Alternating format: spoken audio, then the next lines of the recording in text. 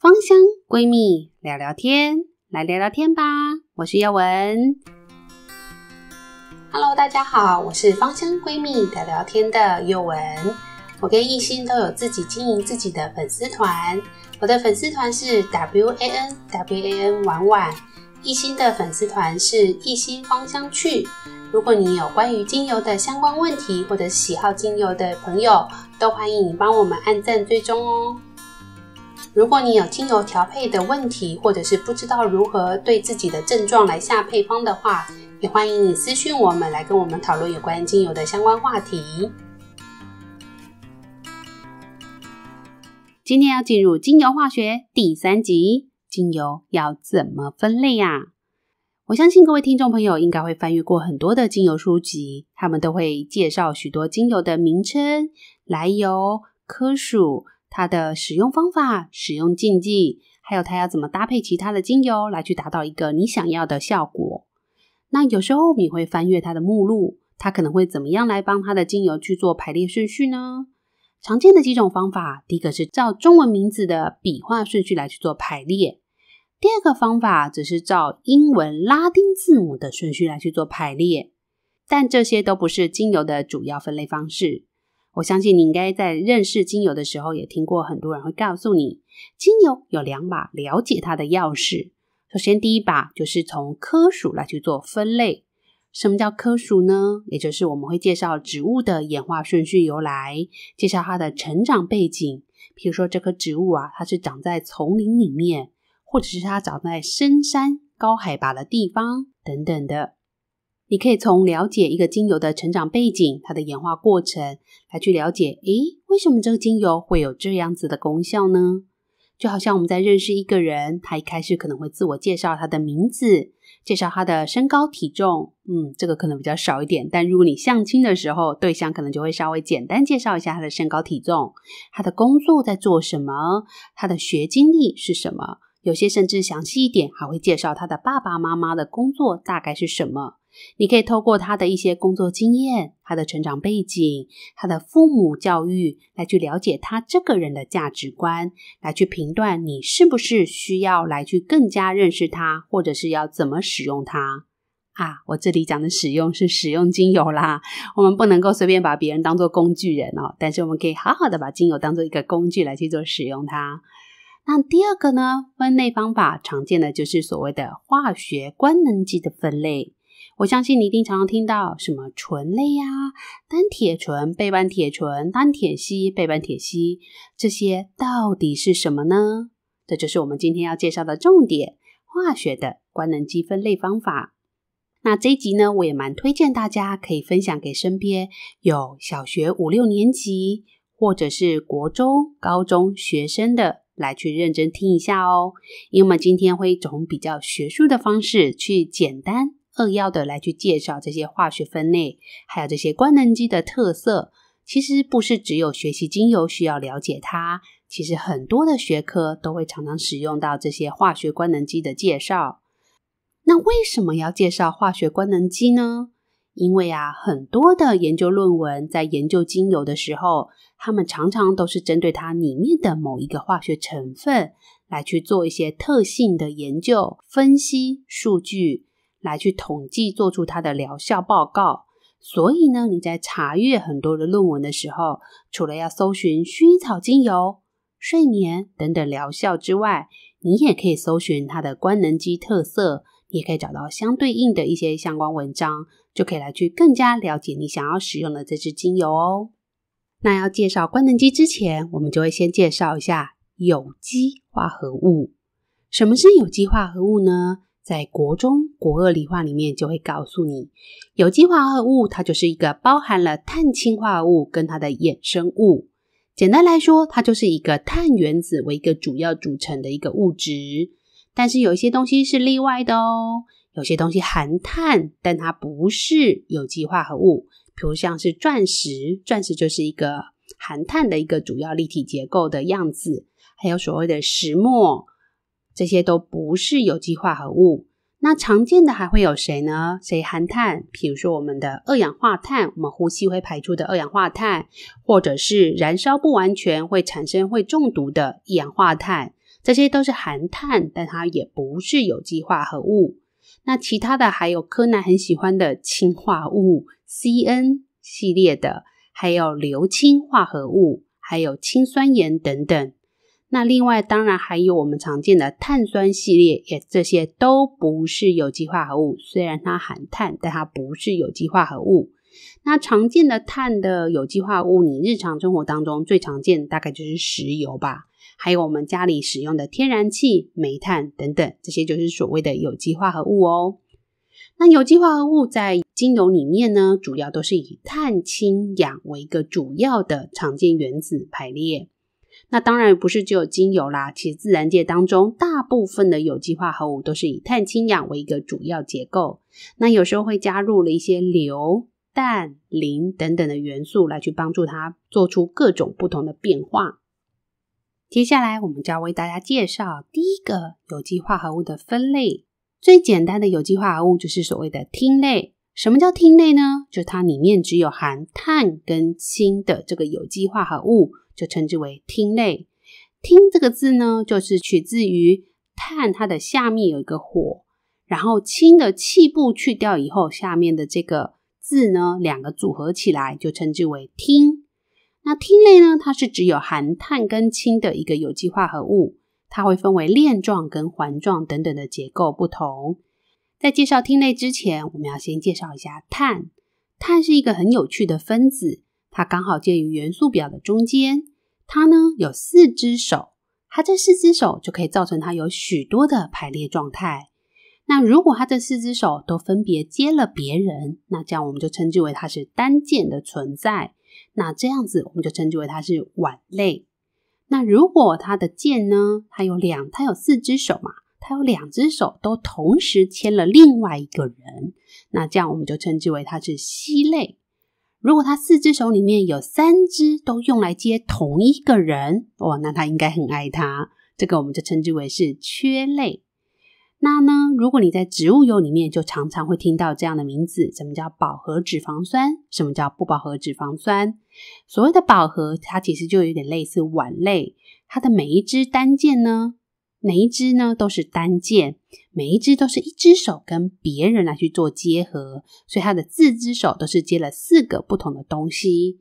那什么叫做不饱和脂肪酸？我们常见的就是它会有双键，双键就是它有两只手都同时对到了另外一个碳来去做连接的这个动作，我们就称之为是不饱和脂肪酸。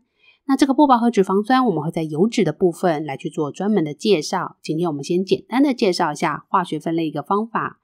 那烷类呢，就是它每一只手都接不同的人；烯类它是会将两只手都接到同一个人身上；缺类它则是三只手都接在同一个人，这就是常见的链状烃类。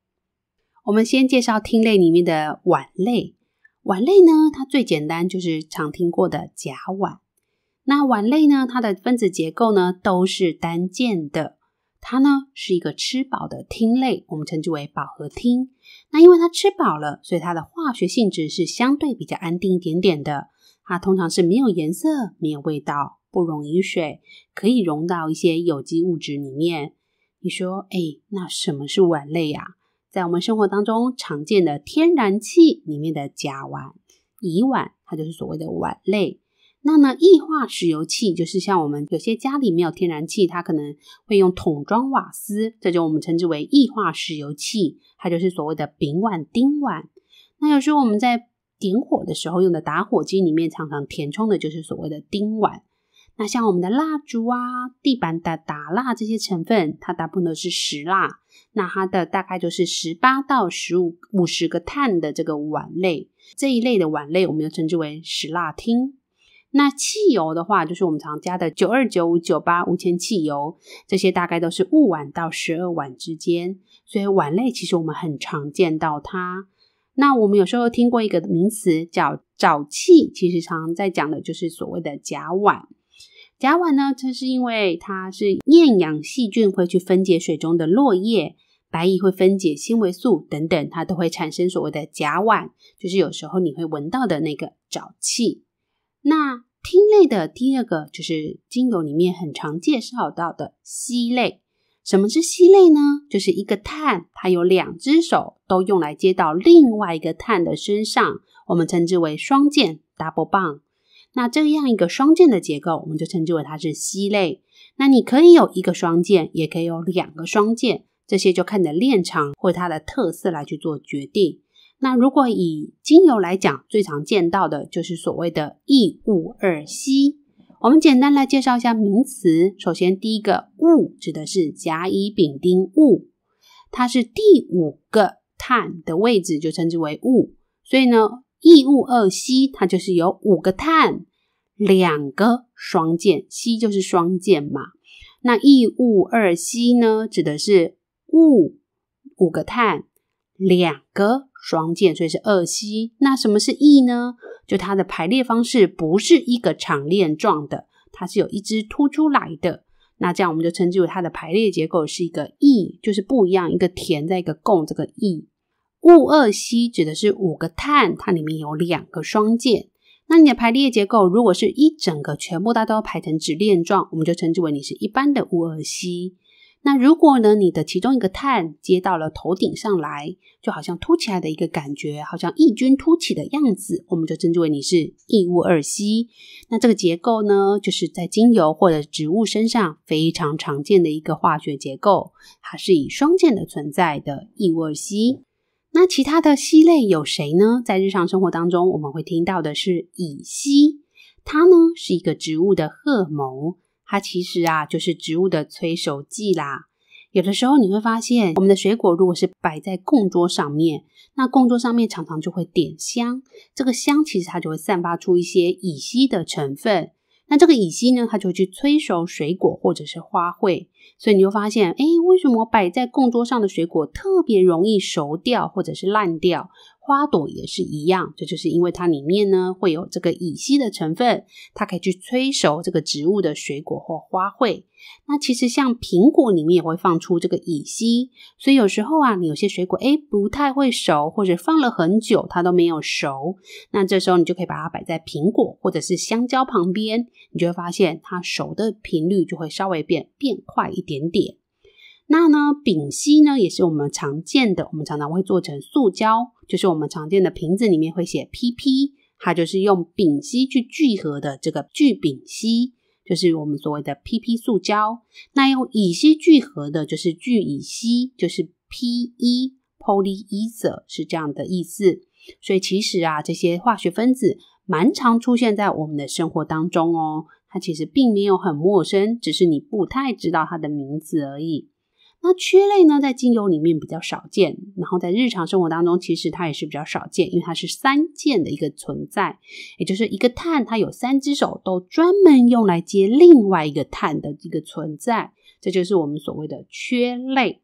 那另外呢，我们常见在精油里面还会看到另外一个结构，它是由一个环状的六个碳所组成的，我们就称之为苯。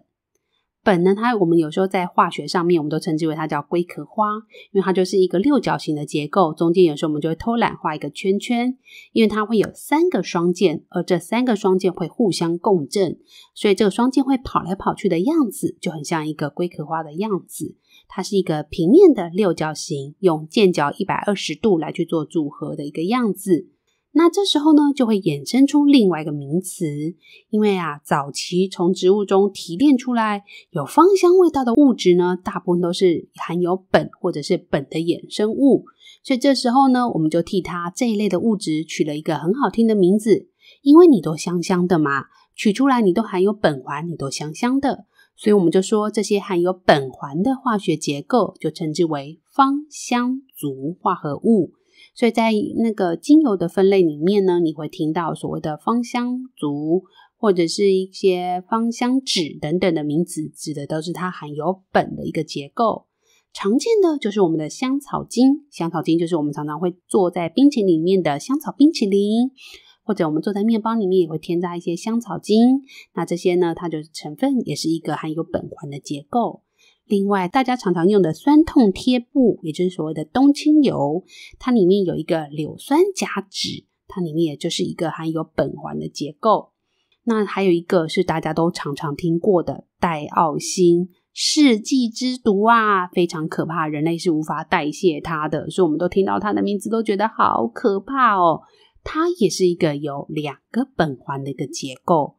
那反正呢，你只要含有这个苯环，我刚刚讲了，它其实是一个龟壳花的结构，它是六个碳组成一个六角形的环状平面结构，它里面会有三个双键互相共振，也就是说，它其实是非常非常刚硬的一个结构。所以，凡是碰到苯的结构，所谓的苯基酯等等，你都要注意，它的结构比较刚硬，对人体来说代谢会稍微辛苦一点点。但是不要一听到苯就吓一跳，觉得好像完全不能用，觉得它好像就有毒，也是没有这么严重。只是要提醒你，它跟刚刚讲的烯类来讲的话，它会稍微比较难代谢一点点。所以你在使用精油上面，如果碰到它含有苯基相关的一些结构的话，你的使用剂量其实就不要太高。那还会听到另外一个名词，它也是苯的一个相关化合物，它是只有含碳跟氢的一个芳香族化合物。那只有含碳跟氢，刚刚我们介绍了，它就是所谓的烃类。那你又含有苯环，所以我们又称之为叫芳香烃。这个芳香的意思就是含有苯环，这个烃就是我里面只有碳跟氢。所以常见的就是所谓的甲苯、对二甲苯、联苯等等的。对精油来讲的话，应该会有听过另外一个名字叫耐，它是有两个苯环连在一起。就是我们所谓的樟脑丸里面的人工合成樟脑丸，就是所谓的耐丸，指的是这样的结构。不过要提醒大家，如果它是纯天然的樟脑，对于蚕豆症患者是可以使用的。蚕豆症患者怕的樟脑是这类的人工合成的耐丸，而非天然的樟脑精油哦。但如果你真的很担心，其实就可以避掉一些樟脑成分的精油就可以了，不需要太过担心。那像苯的话，我们常见的名字它就是我所谓的安息油等等的。但是要注意哦，纯粹的苯它事实上是在研究上会告诉你，它可以溶解脂肪，但它会诱发白血病。我们这时候就会用甲苯来去取代掉它。那我们刚刚讲的耐丸呢，事实上也有一个别称叫胶脑油，它是有两个苯环的一个平面结构。它的颜色呢，大部分是一个白色的样子，它是一个白色片状的一个晶体，它有一个非常特殊的，嗯，可以说臭味吗？就是如果你不喜欢，你就觉得它臭的。但是我有听过朋友非常喜欢 樟脑丸的味道，所以他就不觉得那是臭的。它的熔点呢，大概是八十，沸点大概是两百一十八度左右。它事实上是难溶于水，它可以溶于乙醇、乙醚等等的有机物质。